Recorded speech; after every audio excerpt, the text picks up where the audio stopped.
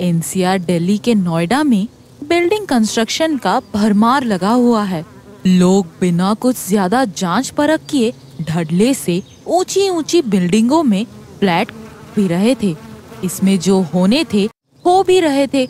आए दिन सुनने में आने लगे थे कि इमारतें ताश के पत्तों की तरह गिर रही हैं। ऐसे ही एक बहुत बड़ी बिल्डिंग, पर्ल टावर थी। उसी बिल्डिंग के एक फ्लैट में रहती थी एक टीचर। सोमना। एक हादसा हो ही गया।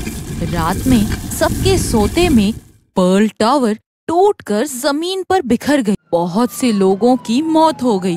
सोमना की जान भी मकान के मलबे में दबकर चली गई। जानती हूँ मेरी मौत हो गई है, लेकिन अभी मैं देवलोक नहीं जाऊँगी। मैं चुड़ैल बनकर यहीं रहूँगी। जिन लोगों के कारण ये इमारत गिरी और इतने लोगों की जाने गई उन लोगों से बदला लेने तक मैं चुड़ैल ही बने रहूँगी। तब से सोमना टीचर चुड़ैल बनी घूम रही है। सबसे पहले वो आई उस एजेंट के ऑफ़िस में जिसने उसे ये फ्लैट बेचा था। क्यों मिस्टर बगीजा पहचान रहे हो मुझे? आप तो पर्ल टावर में रहती थी। भगवान का लाख लाख शुक्र है कि आप सही सलामत है। मैं ज़िंदा नहीं हूँ बगीजा अरे आप तो मेरे साथ मज़ाक करने लगी। मेरे सामने ही तो आप ज़िंदा खड़ी हैं और कहती हैं ज़िंदा नहीं है। अच्छा मज़ाक कर लेती हैं आप। ध्यान से देख बगेजा मैं ज़िंदा नहीं हूँ। पर्ल टावर के मलबे में दबकर मेरी भी जान चली गई है। मैं सोमना चुड़ैल हूँ। अब बगेजा के हाथ पाँव फूलने लगे थे। मैंने कुछ नहीं किया है। वो तो चंदमल ने पूरी बिल्डिंग का कंस्ट्रक्शन किया है और वो भी घटिया इमारती सामान से। तूने सब जानते हुए भी लोगों को झांसे में रखकर फ्लैट बिकवाए हैं। ज़्यादा कमीशन के लालच में तेरी तो मौत होनी ही है। चुड़ैल बाहर आई और दोनों हाथों से बगेजा के घर को हिला दिया। बगेजा का घर चरमरा कर ढा गया और बगेजा उसमें दबकर मर गया। अब चुड़ैल जा रही थी चंदमल बिल्डर के पास, जिसने पर्ल टावर को बनाया था। चंदमल दिल्ली के द्वारका में अपनी एक नई बनती बिल्डिंग में था। चुड़ैल सूंघते सूंघते वहाँ पहुँच गई। मिस्टर चंदमल आप है? जी हाँ आपको कोई फ्लैट लेना है क्या इस बनती बिल्डिंग में? तो मेरे एजेंट से बात कर सकती हैं आप? वो तो मैं कर लूँगी लेकिन खुद देखने आई थी कि बिल्डिंग कितनी मजबूती से बन रही है। चंदमल ने घमंड से कहा मेरी बनाई बिल्डिंग सबसे मज़बूत होती है। लेना है लो नहीं तो अपना रास्ता देखो। तो तेरी पर्ल टावर गिरी कैसे? तहकीकात में पता चला सबसे घटिया इमारती सामान उसमें डाले गए थे। चंदमल ने घबरा कर सहमते हुए बोला आप कौन है? मैं उसी पर्ल टावर में रहती थी। उसके गिरने से मैं दबकर मर गई। अब चुड़ैल हूँ। मुझे मत मारो। मैं अब ये धोखे का काम कभी नहीं करूँगा। तुझे तो मरना ही है चंबल। नहीं तो तू दस गुना ज़्यादा मुनाफे के लिए कमज़ोर बिल्डिंग बनाता रहेगा और लोगों की जाने जाती रहेंगी। ये कहकर चुड़ैल ने बिल्डिंग के एक बे को ज़ोर का धक्का दिया। बिल्डिंग भूकंप की तरह डोलती हुई गिर गई और उसी में चंदमल दब कर मर गया। अब बचा रह गया वो सरकारी इंजीनियर जो बिल्डर से नोटों की गड्ढे ले लेकर गैर कानूनी कंस्ट्रक्शन को पास कराता रहा। लोगों की जान की परवाह किए बिना। उसी दिन सरकारी चीफ इंजीनियर मिस्टर सक्सेना अपनी कार ड्राइव करता हुआ एक ठेकेदार के पास जा रहा था। अपने घूस की मोटी रकम लेने। मोटी रकम मिलने की खुशी में वो मस्त गाड़ी ड्राइव कर रहा था। तभी पीछे की सीट से आवाज़ आई। पैसों के लिए कितनी बेताबी? गाड़ी भी धीरे नहीं चला पा रहा है। कौन? कौन है पीछे? कहते हुए उसने गाड़ी रोक दी। देखा पीछे एक औरत बैठी हुई थी। आप मेरी गाड़ी में कैसे आ गई? मैंने तो आपको लिफ्ट नहीं दिया था। चुड़ैल को कैसे लिफ्ट दे सकता है? वो तो खुद आ जाती है गाड़ी के अंदर। सक्सेना लड़खड़ाती ज़ुबान में बोला आप चुड़ैल है? हाँ तूने बिल्डर से घूस में मोटी रकम लेकर घटिया सामान से बने पर्ल टावर बिल्डिंग को पास कर दी। वो गिर गई तो मैं दबकर मर के चुड़ैल बन गई। मैं हूँ सोमना चुड़ैल। नहीं नहीं मुझे छोड़ दो। मैं अब घुस के पैसे कभी नहीं लूँगा। देखो मैं अभी के अभी वापस लौट रहा हूँ। ठीक है चल तुझे जाने दिया। सक्सेना ने कार मोड़ी और तेज़ी से भागा। लेकिन एक ट्रक ने टक्कर मार दी और सक्सेना उस एक्सीडेंट में मर गया। सोमनाथ चुड़ैल अब देवलोक जा रही थी। ढाबे का भूत और चुड़ैल।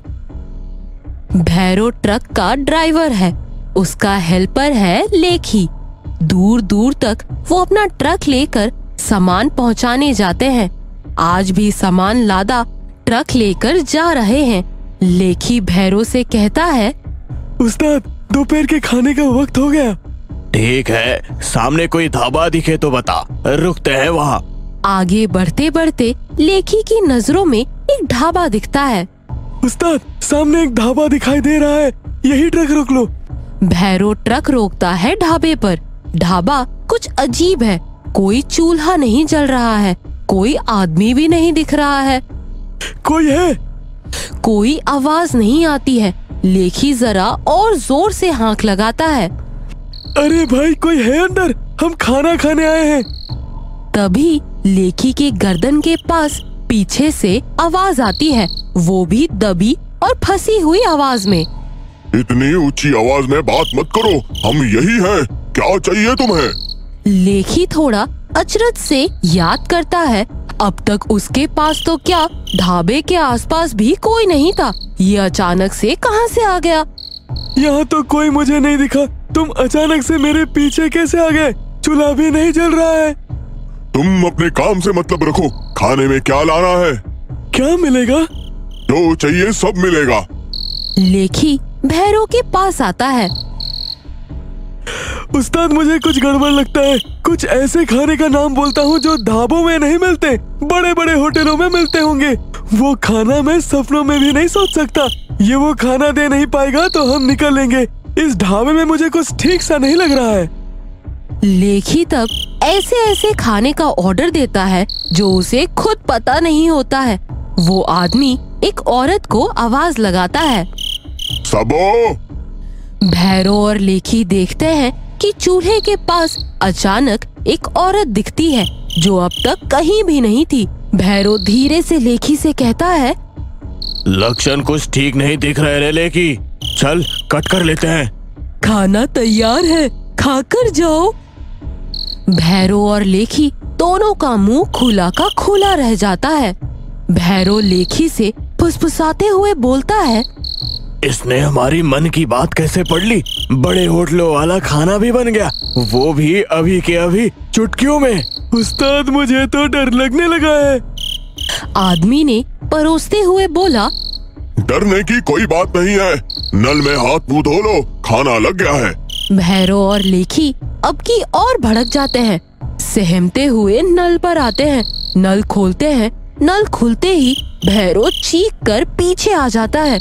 नल से पानी के बदले खून निकल रहा होता है।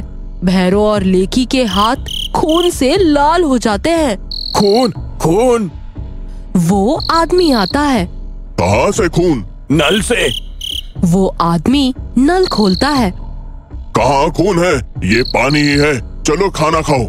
भैरव और लेखी हैरत से देखते हैं। सचमुच नल से पानी आ रहा है। दोनों मन मारकर खाना खत्म करते हैं।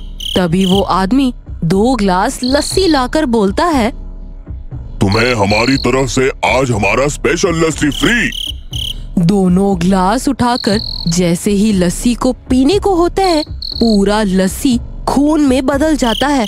दोनों ग्लास फेंक कर चिल्लाते हैं। खून खून खून। तभी औरत की आवाज़ आती है। हाँ तुमने ठीक समझा। ये खून ही है।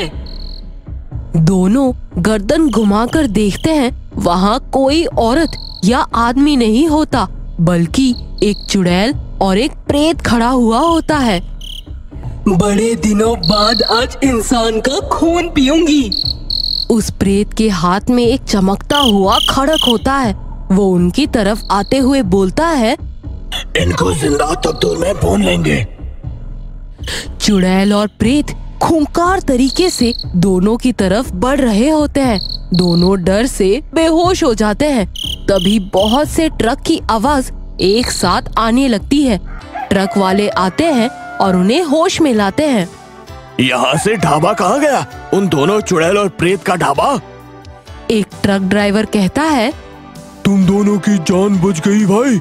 यहाँ कोई ढाबा नहीं होता है। वो दोनों चुड़ैल और प्रेत ट्रक वालों को झांसा देकर मार डालते हैं। इस बात को सुनकर भैरो और लेखी भगवान को प्रणाम करते हैं।